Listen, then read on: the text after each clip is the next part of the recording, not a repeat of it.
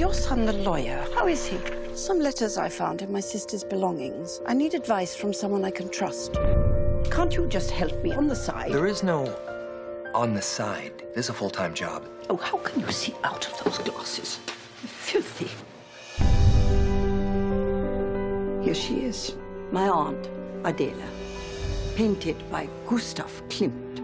That's quite a painting. She was taken off the walls of our home by the Nazis.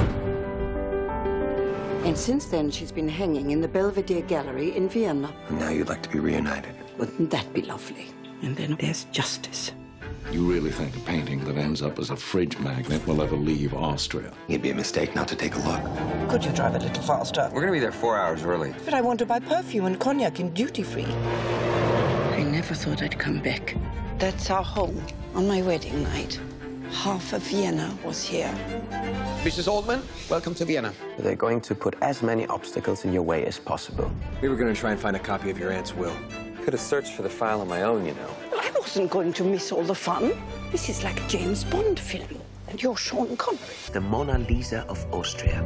We will fight you till the end for something we believe is ours. They destroyed my family.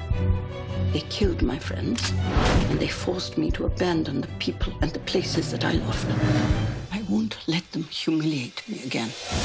Here to file a lawsuit. We're taking the Austrian government to court. Have a nice day. There's no way you're gonna win. We didn't come here to eat cake. All along, you have thwarted me and closed the doors in my face. Ladies and gentlemen, this is a moment in history. Once the past has been put to right, we will not have come here in vain.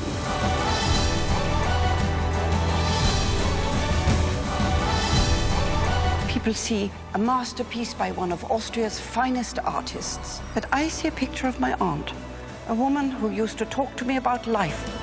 We should be reunited with what is rightfully ours. Andy, can't you drive a little faster? Look, the chocolate on your donut is melting.